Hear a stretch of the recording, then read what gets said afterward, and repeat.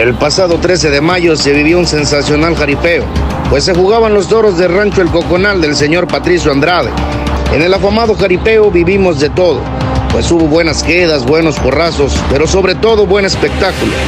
Corría la monta número uno, montaba la parca de Manzanillo, un joven que predomina la modalidad del pretal de lazo, montaba el yankee, véala.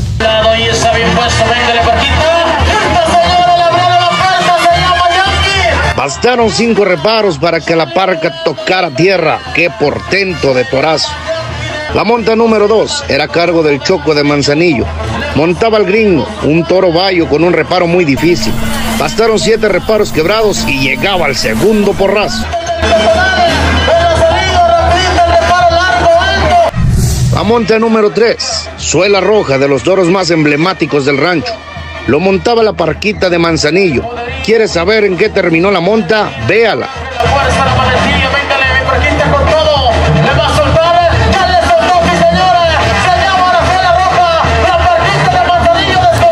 El poderío del toro mexicano es incomparable, haciendo de las suyas y ya iban tres porrazos.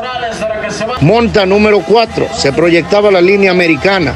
A los lomos le hacía los honores el charrito de Ameca, el toro que salía por el lado izquierdo con todo el poderío. El jinete no iba bien sentado y por obvias razones fue inevitable la caída. Vaya, era la número 4 y ya habíamos visto de todo en el jaripeo. Se llegaba a la número 5, para mí de las mejores montas de la tarde. Es el moreno de Manzanillo y el cadeno, véala. El moreno le peleó hasta donde pudo. El toro se manteaba con un reparo difícil y en el primer cambio llegaba el quinto porrazo de la tarde. Número 6. Se llama Señor Barriga. Lo montaba la Barbie de Manzanillo. Si bien el toro no fue de los más rápidos, pero sí de los que más prendió a la gente. Pues no todo en la vida es porrazos. También hay que reconocer las quedas y la gallardía de la Barbie.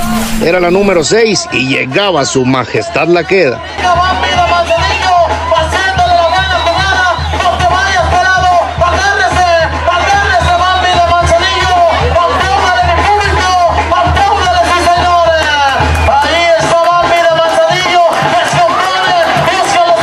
Monta número 7. Se llama General y lo montaba el señalado de Colima. Era la monta al estilo de cincho y argollas pretal de grapa. Bastaron dos reparos largos y el toro activaba un torbellino chicoteado en el centro del ruedo. Señalado aguantó hasta donde pudo, pero al final llegó el porrazo que dejaba sin aliento al público. El jinete caía lesionado, lo cual obligó directamente las atenciones profesionales.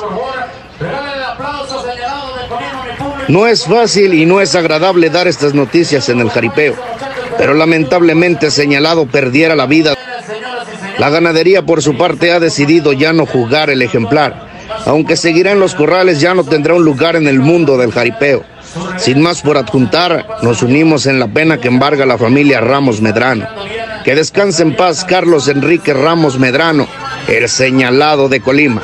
Con imágenes de filmaciones Molina y la voz de su amigo Alex Carrillo, el charro de Jalisco, nos vemos en la próxima.